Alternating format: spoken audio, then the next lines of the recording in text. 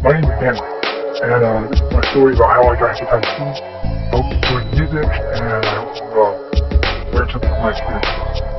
By the time I was 10, possibly 11 or 12 years old, I had seen the clinical blood product that contained hepatitis C.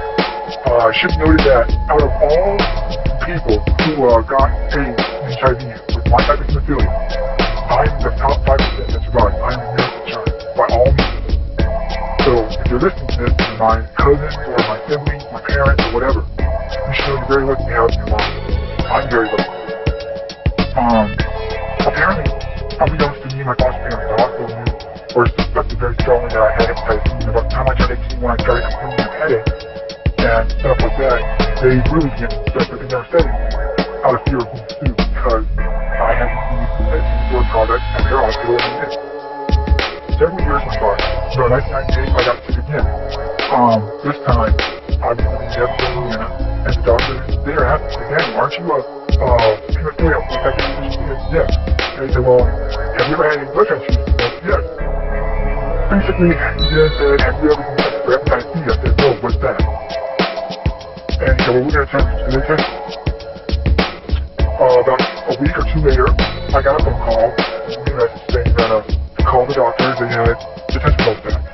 Normally, you're not supposed to you over the telephone that, uh, you got hepatitis C, but in my case, I asked them, said, listen, you be with me, do I have this test came back positive? Second I heard that, I turned jelly and I, I felt real weak, real weird, and I, I felt bad. What happened? Basically, that's it. I had it. And I, uh, incurred some injustices. I was forced out of work until I could prove that, uh, that, uh, it was contagious. Um, basically, I'm sick right now, my liver's really bad. Not too bad, but bad enough. Uh, basically, the hospital was trying to cover up the fact that, uh, they didn't know that I had papers showing that my liver enzyme levels were all elevated.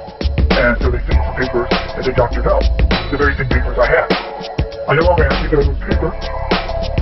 There's no point in suing them. In fact, I can't a waste of time. A waste of my. So this, what the issue is. I don't know. Um, basically, uh, my liver is to the point where about two years ago, one day I drank a cup of NyQuil to go to sleep.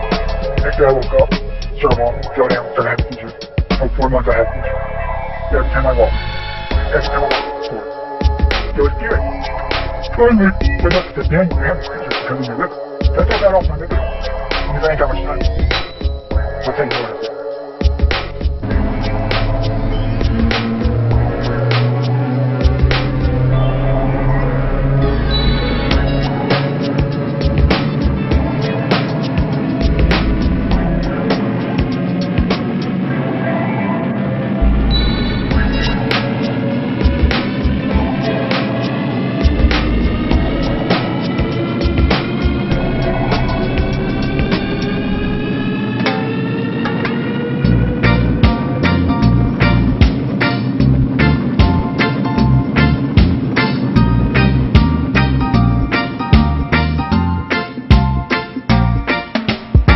Okay, fast forward a couple of years uh, this this year, third month, the third day 2011, and uh, basically I'm not doing too good. I am in school. I'm hoping to survive for four years to uh, make a better life for myself if I live long enough.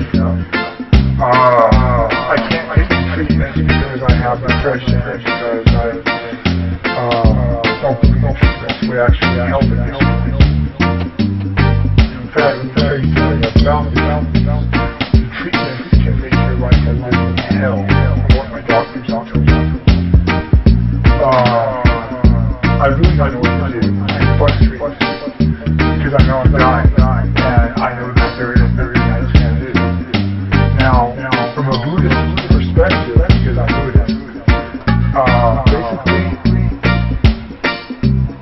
I don't believe in death. I know I'm not supposed to. I'm not supposed to be first. I've, uh, I've believed that I've always been here I always will be so forth. But still, I'm, I'm used to being a human and I, I don't want to be in another form. Uh,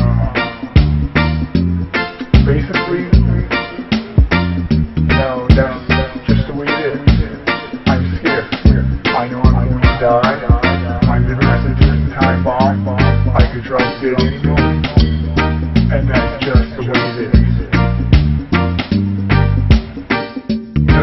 Right now, in regards to this, gave you United States, uh, knowing that it was on purpose by the American Red Cross, knowing that the hospital is willing to there's one thing I wish I could do.